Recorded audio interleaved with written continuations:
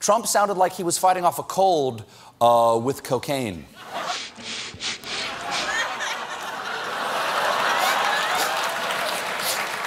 Just look at these totally real, actual tweets that we definitely did not just make up. You're off the hook, unlimited breadsticks. He says he just wants to spend more time with Michael Flynn. Thank you very much.